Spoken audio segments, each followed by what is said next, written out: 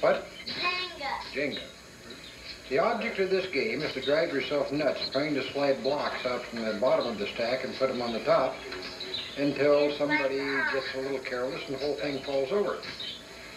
And the twins are involved in this, and Lloyd was involved in it, and Gladys was involved in it a minute ago. Uh, she got it up pretty high and then went over. There's a plate of fudge right there. And And, that's good too. and there is You got a big brass ones, boy. I'll There's a you mark right now. working on this thing, and you notice it, it's pretty unstable, but the whole object is to fall and get higher and higher. It's right in there. All the way. Get your mug out of there so I can show the block game. That's the object. Shy, aren't they? What's the mug? they're, they're, Hi. hey, get out of there. Doug, it's your turn. Mr. Doug. Now, we will show a It's called Jenga. pinky here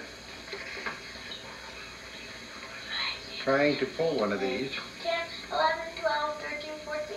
These The bells, object is to find a slightly loose one Hey, and get it out from the stack. get the tape. No, 25. no. No, no. And the interesting part of this is that they're working on an unstable table at the beginning. Yeah, yeah, yeah, yeah, And that's the object is to try to sneak that out of yeah.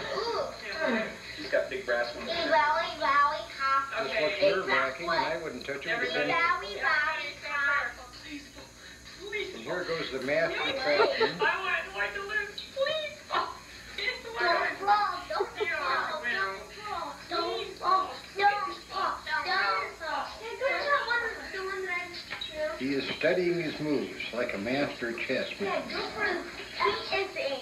Good, For that one. good. Why? It's not, it's not loose yet. You gotta wait till, I could force it over and make it loose, I guess. That'd be kind of I'm going to get Cutie over here and she doesn't know I'm doing it. See, she isn't posing now and giving me a, 22, a lecture. 24, and 26. Of No, course, we're when near he your sticks. record. But yeah, Please fall. please don't fall, don't fall. Don't Please fall. So carefully he pulls it out. And the pile's getting more unstable. On the fall.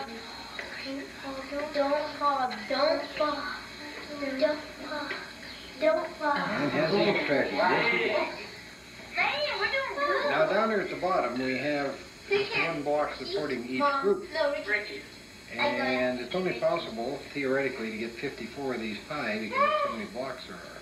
Oh, we are now poking at the blocks to see which one's loose, Save it for and I Our personal record in this home is 38. However, the world's record is 42. Then what